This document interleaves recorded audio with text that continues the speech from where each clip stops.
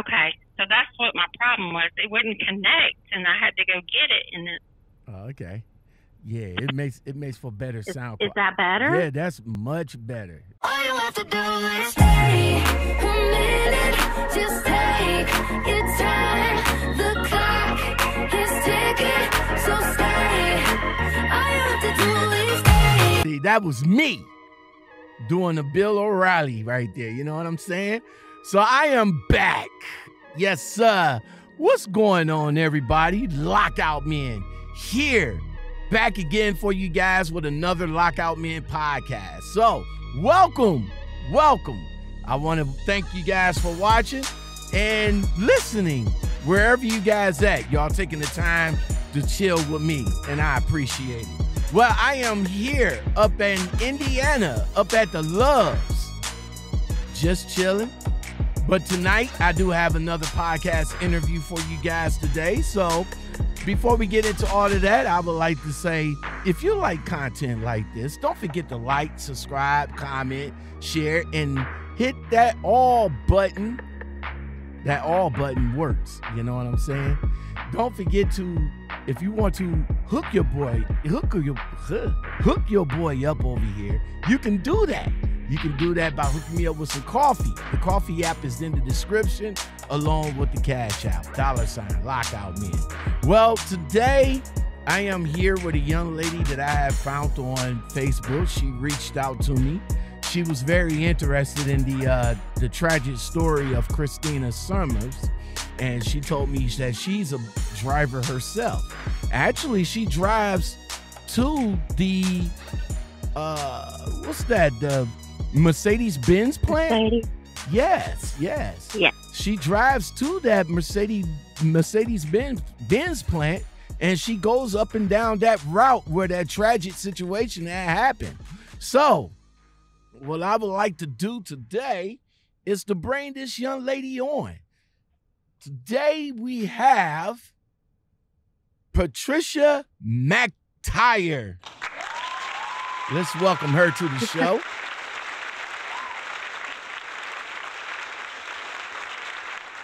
Let's welcome everybody from the LOM community as well.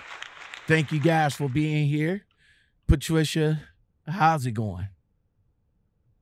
It's going good. All right. Going real good. So where where where are we at in the part of the world right now? I was, I'm in Coleman, Alabama. Oh, okay, okay. That's what's Coleman, Alabama. that's what's Yeah. up.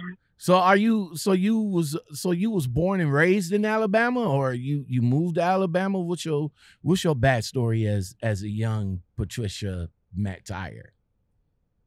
I was born and raised in Cobb County, Georgia, Atlanta, Georgia, See, I and I moved here. see, I told you guys, this is like what my fourth, fifth, sixth, tenth Georgia peach right here. Georgia. I yes yesterday, yesterday I had uh I had Zipporah. She was on yesterday and she had uh she's from Georgia. So I gotta I, I gotta get a I gotta get that jingle. I'm I'm gonna work on it this weekend. So whenever somebody say that they're from Georgia, I will have it for them. So so Georgia, huh? So what was life like growing up in Georgia back in the day?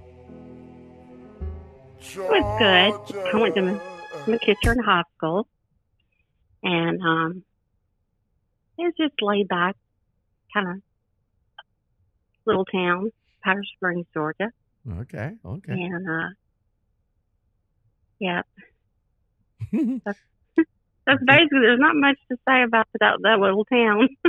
so it was just um, it was just kind of a what like like a boring town or something like that. I mean, you, you guys had like did you guys have anywhere to go after school or something like that, parties or anything like that? no, I just kind of hung out at the home. Um, there was Dairy Queen. Everybody just kind of cruised around and around in the city. Okay, okay, that's what's up. That's what's up. All right, so uh, so let's hear your let's hear your trucking story. How how did you uh how did you get started in trucking, and how's your how's how's the journey so far? Well, I was a triage nurse for 20 years for Kennestone OBGYN. And um, back in 2012, I decided to change careers. And I went into trucking. So I've been trucking ever since. And um, I've been everywhere. Um, did reefer division for two years, east to west coast. Stayed out six to eight weeks at a time, and decided when I moved here to Alabama, it ended up being a local jobs everywhere, dedicated local. So I've been kind of stuck on the automotive end of it Okay, okay. for the last for the last five years, So how how long have you been in the industry so far? Eight Eight years. eight years. All right. So how did you uh how did you obtain your license? Like did you did you go to a trucking school or did you go through a a, a trucking company school? I went through Roadmasters in Chattanooga, Tennessee, and then it was kind of linked in with Covenant Transport. That's where I went for my training. All right, all right. So you know, Roadmaster is owned by. For you guys that don't know, if y'all know already, Roadmaster is owned by Werner. So you, so when you went to Roadmaster, did you, uh, did you pay out of pocket or did Covenant said that they'll cover you if you come and work for them? I paid. I paid out of pocket, Oh, okay, that's a good thing. but That's a good you, thing. well, you, you'd have to stay with them. I think five years before they would reimburse you, but I didn't do that. Who say they wait? Who say you had to stay with who for five years in order to get reimbursed? Werner? That was back in 2012. yes. Wait, Werner said Werner said in order to get in Covenant. order. Oh, Covenant.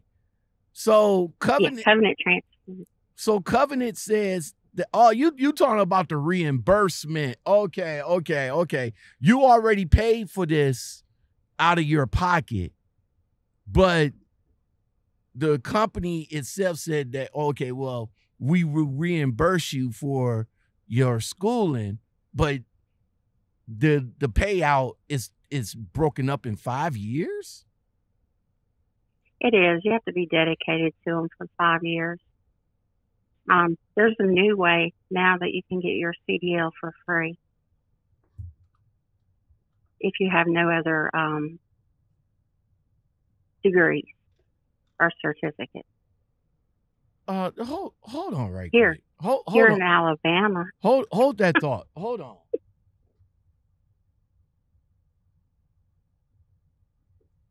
Okay. There's some g- don't you just get irritated when people just come to your shit and just and just be like, once you give them the the the the throat slash, like, yo, I'm can't you see lights on?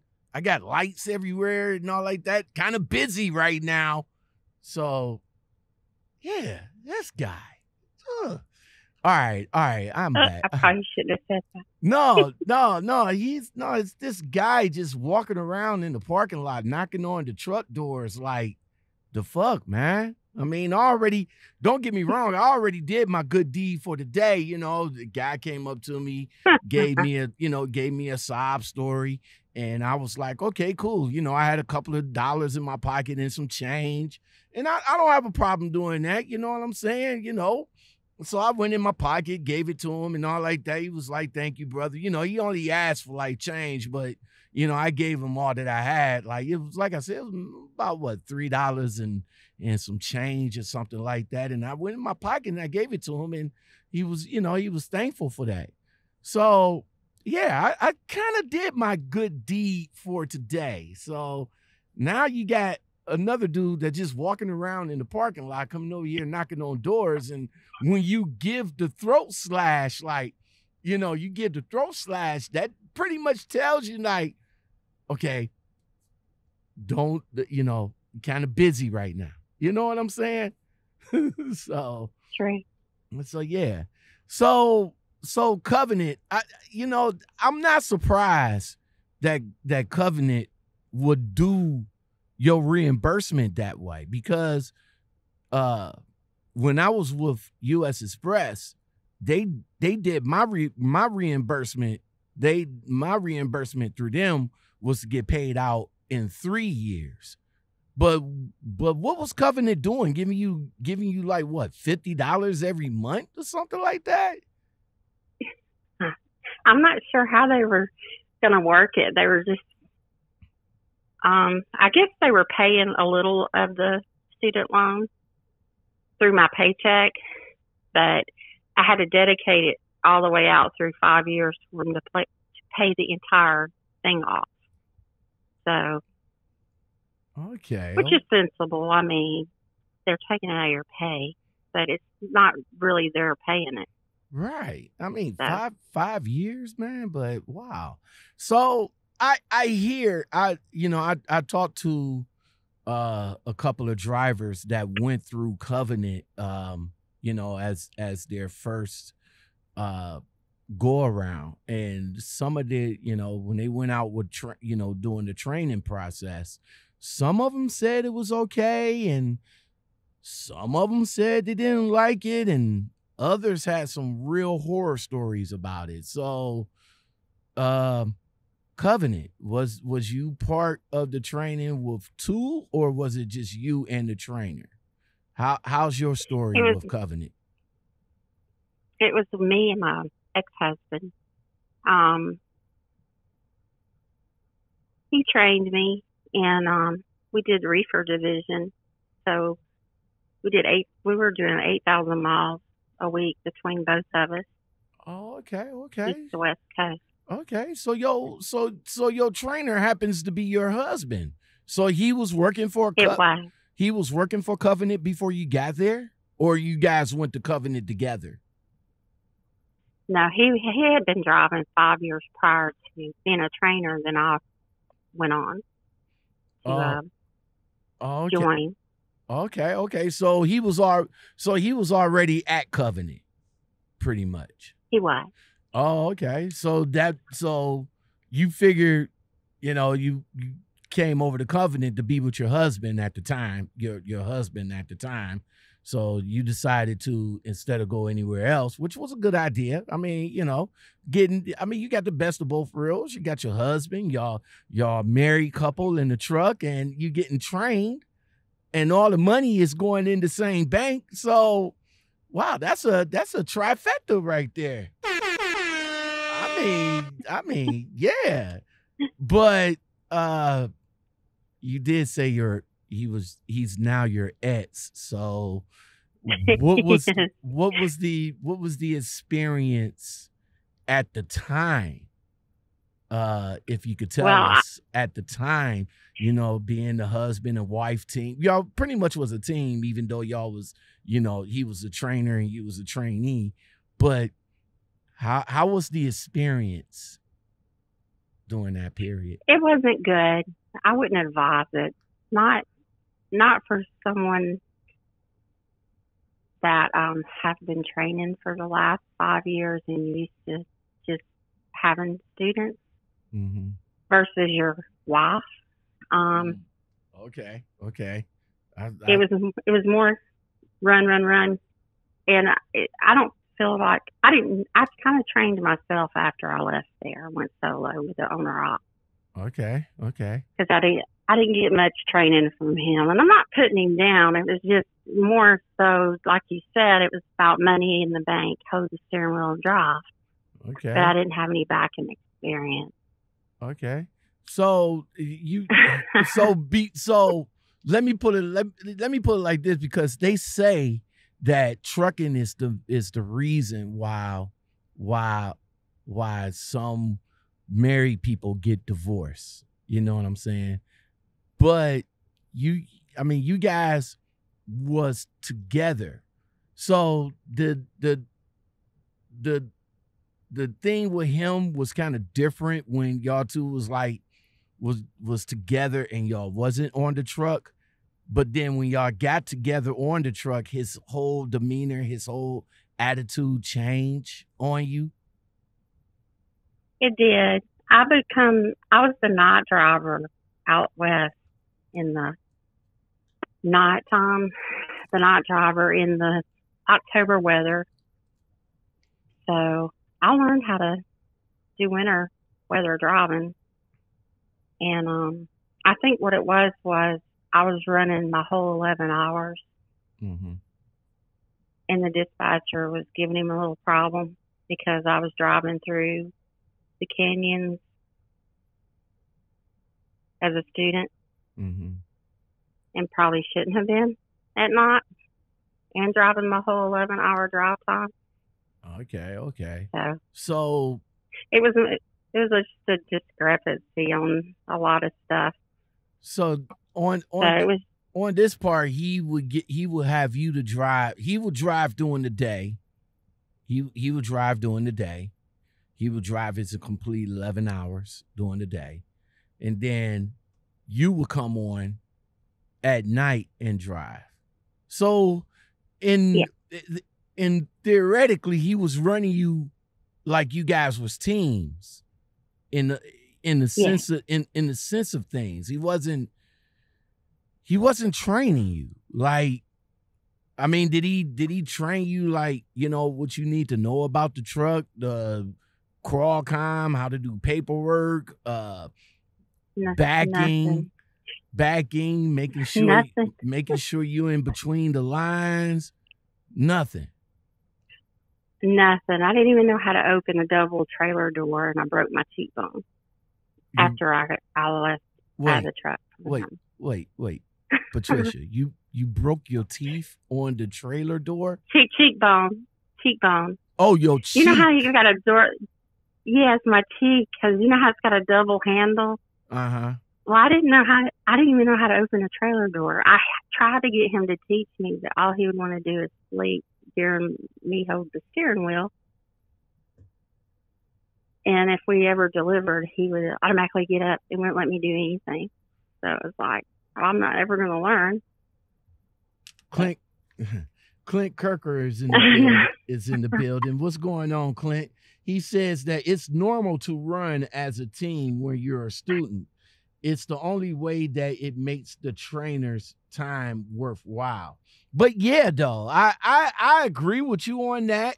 I, I do agree, but still the trainer is supposed to be like in the seat training while you're driving.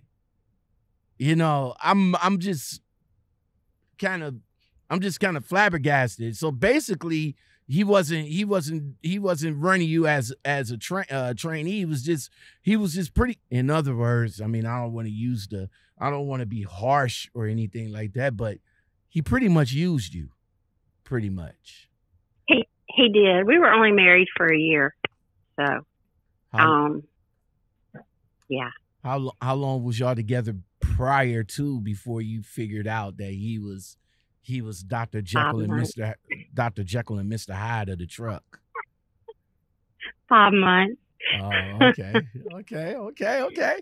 Well, I mean, it could be love, you know, explains. you know, love at first sight. You know what I'm saying? They got they got TV series for that now. Love at first sight. So, but uh, you you figured that you figured that it didn't work. So did you did you ask for a different trainer? Did you did you train out with him? Did you uh did you uh ask for another trainer? What what was your experience I- at Covenant?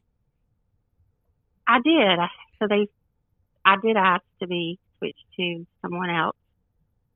Um, that wasn't a trainer. It was just another driver because I already had went through the the hours that I needed. Mm-hmm. Excuse me. And um, so they put me with a female. but She only had six months driving experience, and she didn't even know about bridge law in California. California, so I had to teach her that. So I did know that part because I knew before we crossed the scale we had to have that. But This this kind of it sounds like a a mish mush kind of situation going on over here at Covenant, man. It, this they, they I mean, you know, the situation between you and your, you know, you and your husband or your ex-husband now, uh, you you with another driver, you with a female that did that that that only been has she been driving for three months or has she been or she been training she been driving for a while and then started training for three months what what was that she wasn't training. She just had six months driving experience. I Oh. guess she had went out solo, and they wanted a team. Co- Covenant likes you to team. Most companies do because they make more money, but on the truck itself, of course. But they put me with her, and she really didn't know anything. So I went solo with the owner op that what didn't have, have a CDL. So all right so he was let's, electrician. so let's I know let's, so I got a bunch of bunch of it's crazy. let's let's fast forward from that man because that's that's kind of crazy that that covenant would would put you with somebody that was less experienced than you you know i mean if you i mean i'm, I'm thinking if i wanted like if i want to team with somebody i at least want to i at least want to team with somebody that got uh at least a year or so True. you know some what I'm knowledge. saying? At least thank you. At least with some knowledge. I th- that's just me. I guess that's why I never that's that's why I didn't go with the I didn't go with the team thing because US Xpress they wanted me to team and I was like uh, will you make more money? no, I'm good. All right, so you so you done with Covenant. You you left Covenant. You you mentioned twice that you that you went owner op. So what made you what what made you go that route and what was what was the route that you took to get the owner out? You you lease purchase with a company, you brought your own truck. What what did you do with that? No, I had a friend that uh her husband works in electrician union and he had bought his friend had bought a truck and he didn't have a CDL, he wanted someone to run it. So he had it all permitted and everything. So I told him I'd run it. I didn't have a quite a year experience over the road. Mm-hmm. So I went out. Um, they were contracted broker out of Rosson Brothers Mm-hmm. out of Morton, Illinois, Mm-hmm. and I did paper rolls and Uline and um, like aluminum blocks out of junkyards and stuff like that, recyclables. Okay, okay, that's what's up.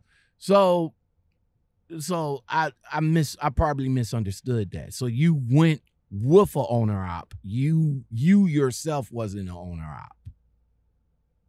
No, I wasn't. Oh, okay. See, I, that's I I kind of misunderstood that because I thought that you said that you went owner op, but you you worked you you drove for him. So how long you uh how long you drove for him, and are you still with him?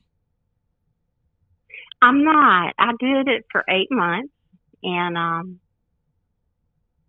is I wouldn't. I don't know. You get some that don't pay you correctly, and they don't want to fix their trucks, and um, and they just. I, I got my experience, so what I was after. So I'm not gonna say anything bad about it because I That's went good. to New York, Philadelphia. I stayed up north. So it was a crash or burn situation up there. You either get it on the dock or you don't get it on the dock. Yeah, you. I, I'm sorry. I'm, I'm sorry, sister. You you can keep the. You you you can keep the northeast. You can have all of that. I I don't want the northeast. I'm good. I'm good.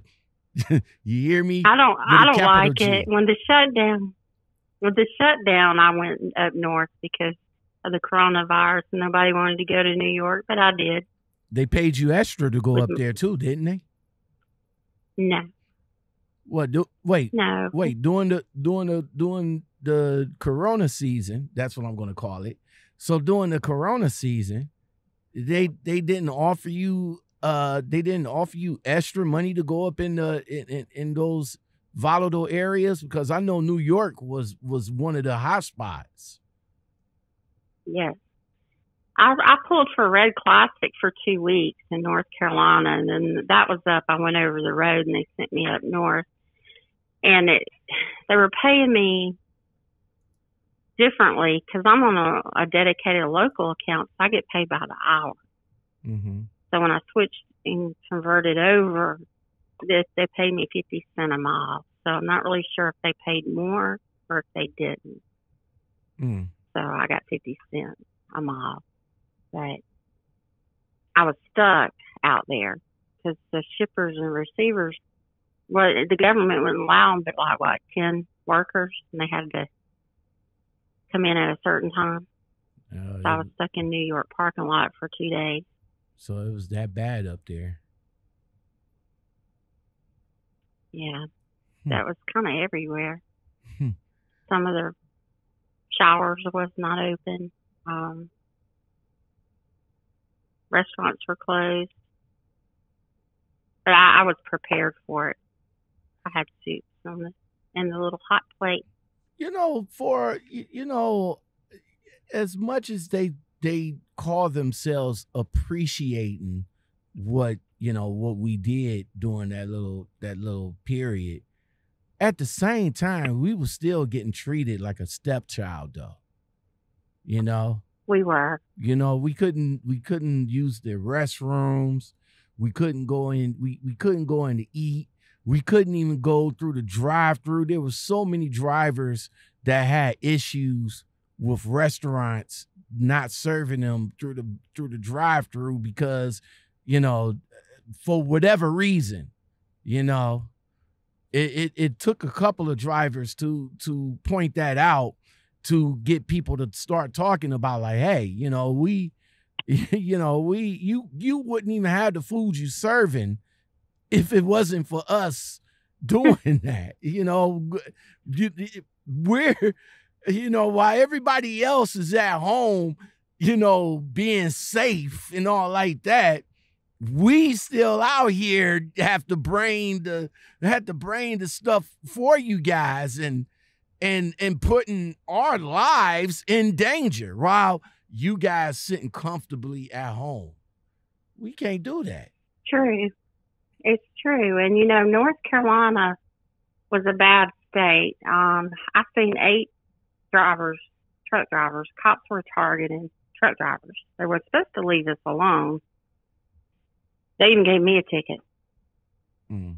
Um, but they were they were not being and the rest areas were closed. And that there just wasn't Exactly. and we were we were only essential drivers allowed out there. So I don't know why they were even we wasn't doing anything bad. It was North Carolina has you know that that lane traffic restriction Mm.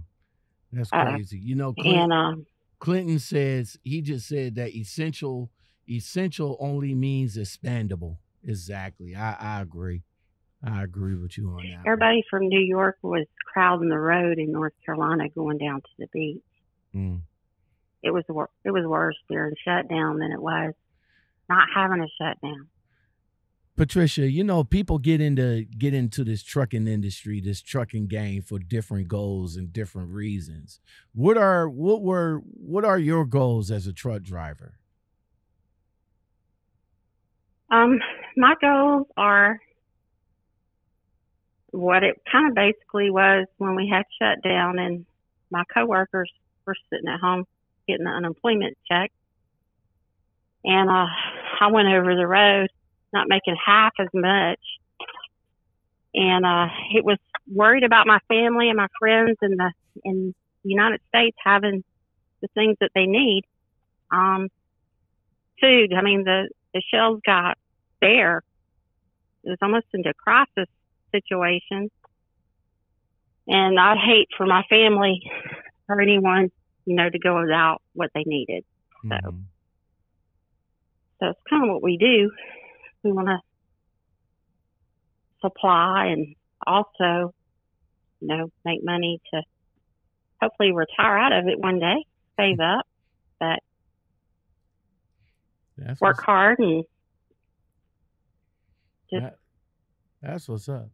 there, was there, you know, you started you you started at Covenant, um, and you went to drive for, you know, drive for the the owner op. What are what are other challenges that you that you face when you when you started out? Other challenges, uh, delivering at residential homes. that was a challenge to me. that is, I learned how to back. you got ditches on both sides, and you have to these little county roads in Alabama, and you have to back into their driveway. Okay. Oh, just- So so That's those what I'm having. So besides that, people are just they still they don't brake check us as much and cut us off and do things because we got the cameras. all right. So those That So those the those the you know the minimum challenge challenges that we face on a day to day basis with with these uh with these drivers not just not just the drivers in the cars but the drivers that drive the trucks too we we have issues on on that front also man so patricia being true. I oh go ahead I'm sorry. oh no no no go ahead go ahead I i had another driver encounter um a guy that got his CDL online. He was from Mexico. mm-hmm. With no training. He didn't even know how to back. And the, the guy had to back it up for him. He said he got his CDLs online. How is that possible? how is that possible but we don't we, you know we, it's just we a danger. we we don't we don't know because uh, you know last year uh there was a crackdown on the school that was given that was giving away CDLs to to inexperienced drivers so yeah I don't know about how the online thing works but you know I know they shut down I know they shut down the one school that was illegally giving people uh CDLs so I'm not even sure. Well, I'm I'm assuming that they had to the, like that they had to retest or some shit like that. That was in North Carolina because I had to go repo a truck. That happened. That school Mm-hmm. last year, I had to go repo a truck Oh, okay. from um, a driver that didn't have license. Or they, I guess the government cut them off because they didn't do their correct road test or wasn't certified. What Mhm. happened was the instructor got mad and left with all the files, Mm-hmm. and they claimed they had had done it at the school. But I still think you'd have to do it at a DMV. Right? I guess there's some are certified. I'm not sure, Okay. but But you say you Yeah, had to go. You, that- you said you had to go and uh you had to go and uh re uh not repo a truck, but you had to go and recover Well, it- I had to take it away. Yeah, take it away from the driver because they wasn't allowed to be in it. so was it a- so That this didn't- driver so this driver was working for the company where you was at? Yes, and they were running with the truck. Wow. So they pretty, so they pretty much told him to stop driving right there and and just sent you down there to go and get it. Wow, Well, you, you can't you can't really blame them though because you don't want to be stuck out there that's true. and not knowing out of state. That's true. I'd want to try to get closer to home too. So Patricia, being a Yeah. female, so being a female, you know, females get a lot of shit thrown at them. How do you handle how how do you handle when other drivers or dispatchers or shippers and receivers, you know, throw, you know, discourage you out here? How do you handle that? They don't. I I I work. Um, really how it. They respected me.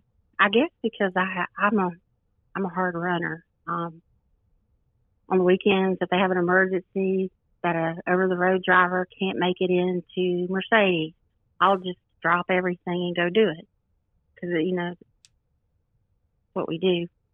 I was on call there for a long time on the weekends when over road drivers wanted to go home. but They couldn't make it to Mercedes and home too for their weekend. Mm-hmm. So I would, I would go, re, you know, relay the load, whatever. But they really haven't given me a hard time. So Okay. Okay. I work whenever they need me to. If they need me to go do this, and I'll turn around and go pick up a trailer if they need it or whatever. Now I know we uh mentioned we we mentioned uh COVID, you know, the COVID season. Um, you know, you went up in uh you went up in New York and and stuff like that. And now that you now you're running auto parts for uh the Mercedes dealer uh for the Mercedes distribution. What keeps you busy nowadays and how did the COVID season affect you, you know, affect your trucking life? Um, if the hours are cut, um, we're I'm not running as many loads. I was doing three a day. Now I'm only doing one, but I still get at least ten or eleven hours a day. But it's not like before I was getting twelve and fourteen hours a day. So we were working six days a week, and now it got cut back to four days a week. Now we're back on we're working this Saturday because Monday we had a holiday. Right. So Mercedes had a lot of their um the last two years they've had a lot of um downfall on them with the uh magnesium bar blowing up north Mm-hmm.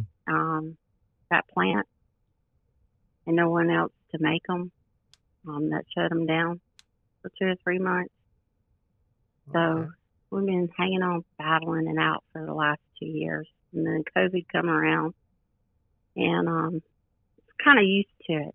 So it's been going on off and on for two years. Okay. Okay. So what are what are some of your pet peeves out here? Out here, Yes. What what are some of your trucking? um, what are some of your trucking pet peeves? Because I have a lot of them. how could you, what, give me an example because I really don't Well, one of my biggest pet one of my biggest pet peeves is people hanging out in the fuel island. Yeah. Yeah. Oh, That. getting their, getting Yeah. happy meal. Yeah, that part. You know, come up in a come up in a fuel island. You you you you get your fuel. Okay, I got you. I see you. I'm in a I'm right here in the truck looking at you. You get your fuel, then you walk away. Then you go inside. It don't it don't take that long to fuel, maybe about 5 minutes, 10, 15 minutes. But you take an hour. then you come back out True. you come back out, you hang up the you hang up the fuel, you you hang it up, then you pull up, get out of the truck, and go back in there again. Like, bro, and what come are you out doing? with three or four bags. like, bro, what are you doing? come out. So yeah, that's that's one of my pet peeves. My that's one of my one of my biggest pet peeves right there. You know, you go in, you know, I I, I get you. You know, I I I I go in there, get my little food, whatever, whatever, come back out, hang up the hang up the hooks and everything, and then bounce.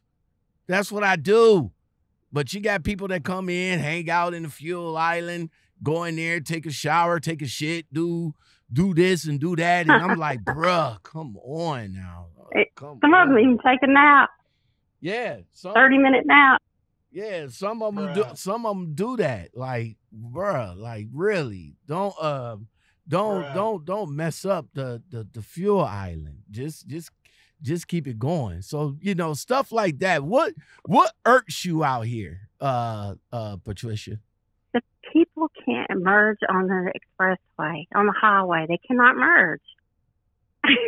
Is that is that merging onto the highway or merging from the shoulder? Uh, even Because off. the, the, the the shoulder that's another pet peeve of mine too You- the dude you're on the shoulder they they taught me that was the first thing i got taught while i was in school like at least drive until you get up to speed and then get over but make sure you hit the blinker no what this dude did what this dude do is pull right onto the highway and then get up to speed like bruh like really man why Bruh. don't do that. Don't do that. So yeah, that that True. that irks me also that that irks me and that's that's another one of my pet peeves so yeah man that's uh that's that's crazy that's crazy um It is. so if you had to go back and start all over would you would you would have got into trucking I would. I've always liked it. Um, I just always liked big trucks, and I thought, well, that'd be kind of cool to drive one of those, and I did, and eventually. But it was just one of those things that I just thought was to travel the world, and it's just one of my, I guess my, okay okay um, how do you, what do you call that? The bucket list.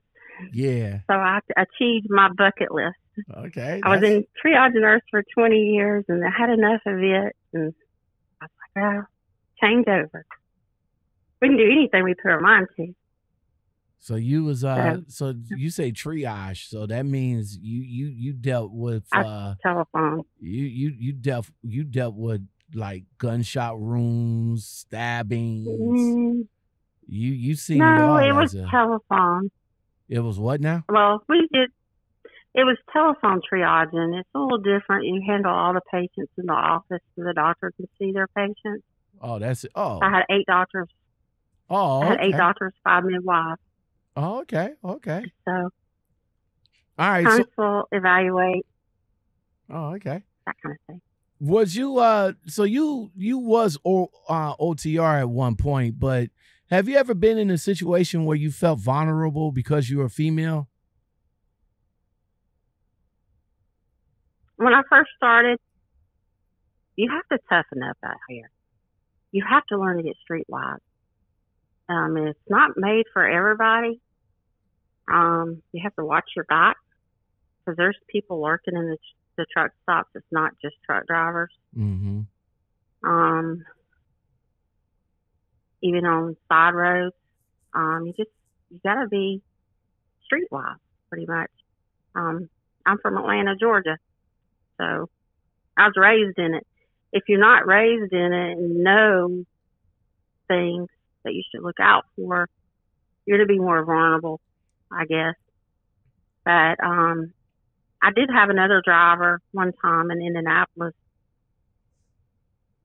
I was it was my fault that I thought something was wrong with my trailer and it wasn't. And he kind of shoved me back up in the truck, but I used reverse psychology on him and got him back out of my truck and locked the door and yelled on the CB. But I mean, it happens because I maybe he's got, I didn't know the limbo out here. You know, I was new. So Okay. Okay. that's what I mean by streetwise. okay. you can't that's, leave your yourself open, kind of. thing. That's what's up. All right. I, I I think this uh I think I'm gonna ask you this uh last question. I think that and this will probably, you know, be it because you know I don't want to keep you I don't want to keep you too long. I do appreciate you coming on and you know giving me your time and all like that. You know, you could be anywhere in the world, but you're here with me. So I really do appreciate that. Um Patricia, what extra precautions you take out here to protect yourself when especially when you're in certain areas while you're shutting down? when I'm shutting down, I've shut down in some. When you run out of time, you can't really judge where you're going to go. I've had like Charlotte, North Carolina.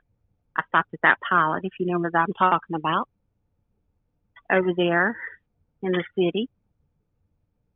Um, I didn't know the area, but when you run out of time and you got to stop, you don't have a choice. You just keep your doors locked and you just kind of toughen yourself up. And if they keep this was a, a drug person that would kept lingering in the parking lot. You just kind of got to get mean with them. Mhm. I just yelled at them, but you know, um, they'll usually leave you alone. Um, I don't go out of the truck at night at certain times as a female. Uh, that that could be as a male too. Um, they're not. They're not it doesn't matter this day and time, male or female. Um, just don't leave yourself open. carry some mace. Best thing you can use in a truck is a wasp spray. Hmm. I, you know, I heard, I heard. I heard that. I heard, I heard that. Somebody said, uh, somebody said to, uh, to keep a can of wasp spray in, uh, in the truck Yeah. with you. So I, you know, since you just, you like the third, fourth person that said that. So I think I'm going to get me a can of some wasps, Uh, wasps, wasps. I can't even, I can't even wasp pronounce it. spray. Wasp spray. it may be my Georgia accent. It might be, might, might be my, my, Hornet spray. Would that be better? might be my bad grammar over here. That's what it is. Everybody, Patricia McTyre. Again, thank you for coming on. I do appreciate it. well, Um, thank you for having me. uh, thank you. Very welcome. What are some What are some tips? Uh, would you like to share for aspiring women truckers out here? Um, expiring trucker women. Let's see. If you're a hard worker, that goes for, I guess, just women and men. You got to be a hard, dedicated worker and um, get your loads there on time, and you're you're good to go. Pretty much. Okay, okay, that's what's up. That's what's I, up. I'm not. I'm boring.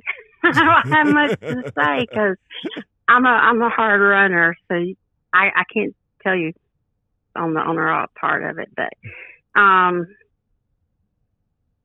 I would just say just don't let people run you over. You know, um, you got to toughen up out here, stand your ground. It's about working. Okay, okay. That's what's up. That's what's up. Well, again, I appreciate you coming on and uh chopping it up with me and all like that. So if you ever want to come back on again, definitely, definitely, you know, reach back out to me and we'll, you know, I always I will always give you my platform to, you know, to chop it up with me and everything. Sure. So And if you know anybody wants to team and run hard, let me know. I, yeah, everybody, if y'all want to know about that, she's available if you want to, if you want to run. but you got to be a runner though. You got to be a runner. Oh yeah, it's all Uh, about some dollars. Uh, Clint Kirker says, tell her to always start looking for a place to park at one hour. I mean, at your one hour warning. Yeah, that's a good. That's that's that's one to grow on, Clint. But I, I start mine that too. So yeah, if you ever get in a situation, Yeah, I- always look, you know, like maybe about an hour, hour and a half into looking for a place to park before your time runs out. I do, but it's also on the time of your delivery and pickup, and I got you. I got you. you know if you if you want to be 15 minutes away from where you pick up and be there a little earlier. I don't know. Sometimes You have all that day to run. Sometimes it's just sometimes it's just hard to it's just hard like It's that. a hard head. All right, so everybody, if you want to come on and chop it up with me, you know, you can do that. You can hit me up in the Gmail. That's lockoutmenpodcast at gmail.com. Or head over to Instagram and get me over there. Hit me up in the DM. I appreciate you guys watching. So if you like content like this, don't forget to like, subscribe, comment, share, and hit that bell and that all button for more and for when I come live. Because, you know, when I do these behind the scenes interviews, they pop up like just about every day. So come on over and find out who I'm talking to that day. You know what I'm saying? I do appreciate the LOM community being in here with me. That's Clint Kirker, uh, Shane Booton, Miss Chicago BBW, Don Schiller, and Serve Squad Productions. Thank you guys for being here. I appreciate the support and everything. Uh, if you guys like what I'm doing and want to support me more, yo, hook me up with some coffee. Right now, I'm drinking some water, but you can hook me up with some coffee. The the, uh, the app is in the description, or you can just make it easy for yourself and hit me up in the Cash App. That's dollar sign Lockoutmen. Until next time, everybody, I am done. I am out. You guys take it easy, and I'll come back at you with another podcast interview. Guys, take it easy, and I'll see you guys later. Peace.